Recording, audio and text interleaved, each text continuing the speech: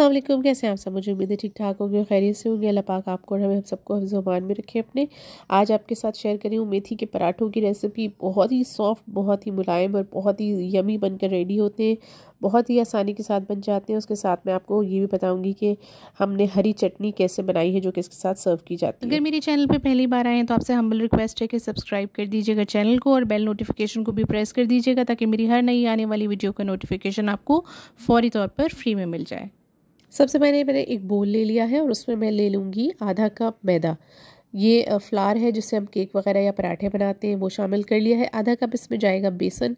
बेसन से जो आपके ये मेथी के पराठे बनते हैं, इनका फ्लेवर बहुत इन्हेंस हो जाता है, इसको ज़रूर शामिल कीजिएगा। एक कप भर के मैं ले रही हूँ गेहूँ का आटा या चक्की का आटा, जो कि रोटी बनाने के लिए इस्तेमाल होता है। इससे आपके पराठे बहुत सॉफ्ट बनेंगे। अगर आप चाहें तो इस रेशो में रद्द बदल कर सकते हैं, मैदे की क्वान्टिटी बढ़ाना चाहें, बढ़ा सकते हैं, कोई मसले की बात नहीं। यहाँ ले ली है मैंने मेथी। एक गड्डी मैंने मेथी ली थी छोटी वाली और उसको मैंने धोकर थोड़ी देर छन्नी में डाल दिया था, जब उसका पानी निकल गया तो मैंने उसको छुरी की मदद से चॉप कर लिया ताकि बड़ी बड़ी पत्तियाँ ना आए। छोटी पत्तियाँ जो है वो मिक्स हो जाएँगी, पता नहीं चलेंगी तो ये देखें, ये मैंने मेथी डाल दी है और इसके जो ताज़ी मेथी होती है, इसके पराठे बहुत ही ज़्यादा खुशबूदार बनते हैं। हाफ़ टी स्पून मैं इसमें ले रही हूँ नमक, आधा टी स्पून ही मैंने इसमें लिया है कुटी हुई लाल मिर्च आधा टीस्पून मैंने इसमें हल्दी ली है, इससे पराठों का कलर और फ्लेवर दोनों बहुत अच्छे हो जाएँगे। आधा टीस्पून ही मैंने इसमें शामिल किया है सफ़ेद ज़ीरा और क्वार्टर टी स्पून मैं इसमें डाल रही हूँ अजवाइन। अजवाइन जो है वो बहुत अच्छी रहती है पराठों में और आपके पराठों को जूद हज़म भी बनाती है। दो टेबल स्पून मैंने भर के इस पर कुकिंग ऑयल डाल दिया है। आप इसकी जगह देसी घी या मक्खन भी डाल सकते हैं। मुझे बाद में ख्याल आया था कि मुझे हरा धनिया मेरे पास था तो मैं वो भी शामिल कर लेती हूँ तो वो भी मैंने डाल दिया है। अगर आपके पास हो तो ज़रूर डालिए। सर्दियों में सब्ज़ियाँ वैसे भी बहुत अच्छी लगती हैं और बहुत फ्रेश आ रही होती हैं तो उसको ज़रूर डालिएगा। ना हो तो ना डालें। अगर आप मिर्चें तेज़ खाते हैं तो आप हरी मिर्ची भी थोड़ी सी क्रश करके डाल सकते हैं। अब इसको हम आटे की तरह जैसे हम आटा पराठों का गूंदते हैं, वैसे गूंद लेंगे। थोड़ी देर मुक्की लगाइए ताकि ये पराठा जो है वो बहुत अच्छा सा, नरम सा, सॉफ्ट सा हो जाए पराठों का। आटा मैं सख्त नहीं रखती हूँ, बहुत सारे लोग रखते होंगे, लेकिन मुझे नरम पसंद है तो आप इसी तरह का नरम डो बना लीजिएगा। ऊपर मैंने हल्का सा ऑयल लगा दिया ताकि इसके ऊपर कोई पापड़ी वगैरह ना जमे, और मैं इसको तकरीबन दस से पंद्रह मिनट के लिए किचन में ही साइड पर रख दूँगी ताकि ये अच्छा सा सेटल हो जाए। उसके बाद फिर हम इसके पराठे बनाने शुरू करेंगे। आप किसी भी चीज़ से ढाँक कर रख दीजिए। मैंने भी एक प्लेट से ढाँक कर रख दिया था। पंद्रह मिनट बाद हमने इस आटे को निकाल लिया था।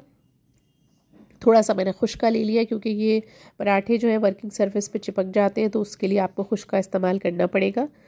यहाँ पे मैं इसके पेड़े बना रही हूँ। जैसे नॉर्मली आप रोटी या पराठों वगैरह के पेड़े बनाते हैं, बहुत आसानी के साथ आपके पेड़े बन जाएँगे। और आप देख रहे हैं, आपको अंदाज़ा हो रहा होगा कि जब मैं इसको फोल्ड कर रही हूँ तो ये बहुत ही माशाल्लाह से सॉफ्ट सा, नरम सा आटा इसका बनकर रेडी हुआ है। ये देखें, और हल्की सी इसमें चिकनाहट भी है। अब हम इसको खुश्की में लगा लेंगे ताकि जब हम इसको बेलें तो ये बेलन पे या जो हमारी वर्किंग सरफेस है को उस पर चिपके नहीं। इसके किनारे थोड़े से मैंने पतले कर लिए थे और अब मैं बेलन की मदद से इसको बेलूँगी। आप चाहें तो हाथ की मदद से भी इसको बड़ा कर सकते हैं, लेकिन बेलन कन्वीनियंट ऑप्शन है। अच्छा अब ये देखें, आप इसको इस तरह से गोल रोटी की तरह भी बना सकते हैं, आप इसको कोई और शेप भी दे सकते हैं। मैं क्योंकि पराठा बना रही हूँ तो मैं प्रॉपर चकोर पराठे की तरह इसमें हल्का सा ऑयल अंदर की तरफ़ मैंने लगाया है। ऐसा करने से इसके पराठे की लेयर्स बहुत अच्छी बनती हैं और वो सॉफ्ट भी हो जाते हैं। अब इसको दोबारा से एक बार खुशका लगाया और फिर इसको बेल लेंगे। अच्छा ये पराठे जो है ना, बहुत ज़्यादा बड़े नहीं होते और बहुत पतले भी, बारीक भी नहीं उगते। अगर आप इसको बहुत बारीक बेलेंगे तो ये आपका जो पराठा है ना, ये कड़क कड़क सा हो जाएगा। तो थोड़ा सा जो नॉर्मल पराठे होते हैं, उससे थोड़ा सा मोटा बेला जाएगा और ये देखिए, इस तरह से साइज़ में भी थोड़ा छोटा रखा जाएगा। दूसरी तरफ़ मैंने तवा चढ़ा लिया था और तवे को गर्म कर लिया था। जब तवा गर्म हो जाए, तब आप उस पर ये पराठा डाल दीजिए।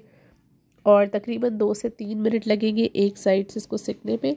आप इसको थोड़ा सा घुमा घुमा कर एक साइड से सेक लीजिए और जब आपको एहसास हो कि ये एक तरफ़ से सिक गया है थोड़ा सा उठा कर देख लीजिएगा। ये देखिए, इस तरीके से मैं थोड़ा सा घुमा रही हूँ। अगर आपके हाथ जलते हो तो आप चिमटे वगैरह से कर लीजिएगा।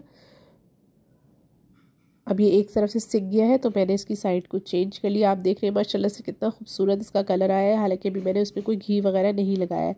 अब मैं इस पर घी लगा दूँगी। आप चाहें तो इस पर बटर भी लगा दें। बटर की खुशबू बहुत अच्छी आती है इन पराठों में। मेथी के साथ बहुत जायका बढ़ जाता है। लेकिन अगर ना हो तो आप ऑयल या घी जो भी अपनी मर्ज़ी का आप लगाना चाहें लगा सकते हैं। साइड पलट ली है और दूसरी साइड पर भी अच्छे से ऑयल लगा लिया है। और उसको मैं घी हमारे यहाँ पराठों में घी पसंद किया जाता है तो घी लगा लिए और ऑयल वगैरह कुछ भी लगा सकते हैं, कोई ऐसी बात नहीं है, आप इसको बस सेकना मकसद है। ये देखिए, बहुत अच्छा सा माशाल्लाह कलर आ गया है और थोड़ा सा घुमाते हुए मैं इसको सेक रही हूँ। बहुत ही लाजवाब पराठा बनकर रेडी हुआ है। ये देखिए, माशाल्लाह से बहुत ही ज़बरदस्त है। आप इसी तरह से बनाइएगा और गरम गरम सर्व कीजिएगा। आप यकीन माने बहुत लाजवाब लगते हैं। अच्छा ये हमारे पास हरी चटनी का कुछ सामान है, आधी गड्डी पुदीना, आधी गड्डी धनिया मैंने ले लिया है। चार से छः हरी मिर्चें ले ली हैं, लहसुन की कलियाँ ले ली हैं, देसी लहसुन हो तो चटनी बहुत अच्छी बनती है। और ये है इमली का पल्प। ये पल्प है समझ लीजिए मैंने इमली को भिगो दिया था पहले आधे घंटे, उसके बाद उसको बॉईल कर लिया था, उसके बाद उसमें से बीज निकाल लिए थे, उसको ग्राइंड कर दिया था। ये वो पल्प है। इसके साथ मैंने ग्राइंडर में इन सब चीज़ों को डाला थोड़ा सा नमक और थोड़ा सा सफ़ेद ज़ीरा डाल के पीस लिया और शानदार सी हमारी हरी चटनी रेडी हो गई। बहुत जल्दी बन जाती है और आप इसको मुख्तलिफ़ चीज़ों में इस्तेमाल कर सकते हैं। बेसन की रोटी के साथ, मेथी के पराठों के साथ, आलू के पराठों के साथ, ये बहुत ही लाजवाब लगती है। ये देखिए, माशाल्लाह से इतने ज़बरदस्त और नरम पराठे हमारे बन के रेडी हुए। और बहुत ही लाजवाब इसमें से खुशबू आ रही है। हालाँकि ये अब इतने गर्म नहीं है, थोड़े ठंडे हो गए, लेकिन तब भी खुशबू बहुत अच्छी आ रही है। और इस तरीके से आप इसको हरी चटनी या रायते के साथ इस्तेमाल कर सकते हैं। रेसिपी पसंद आए तो लाइक और शेयर करना मत भूलिएगा। अपना बहुत ख्याल रखिएगा, कॉमेंट करके ज़रूर बताइएगा कि ये पराठे आपने बनाए तो कैसे बने। मुझे दुआओं में याद रखिएगा। अल्लाह हाफ़